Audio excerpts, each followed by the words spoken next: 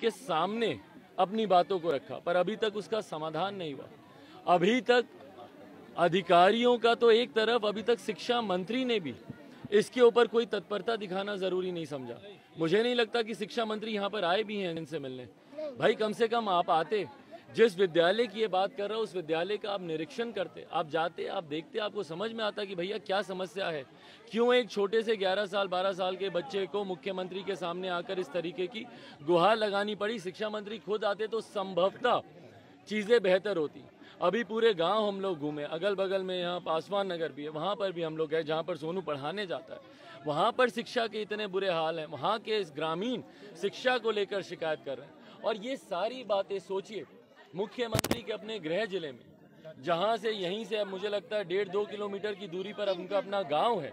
दो किलोमीटर के रेडियस के गाँव में अगर इस तरीके की व्यवस्था चल रही है तो बाकी के प्रदेशों में क्या हाल हो रहा होगा, इसका अंदाज़ा लगाना मुश्किल नहीं।